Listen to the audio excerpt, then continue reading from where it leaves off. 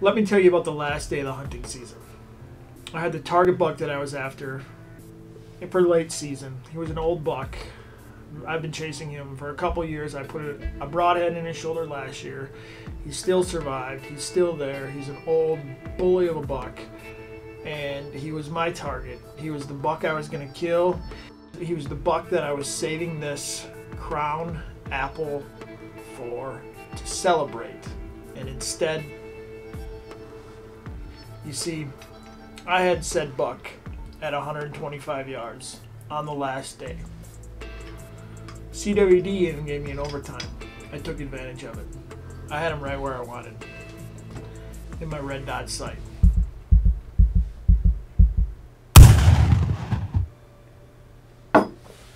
Well, I missed. That means I'm having soup. Tag soup. Maybe that's why I shed hunt. Because I'm a bad shot. Clearly.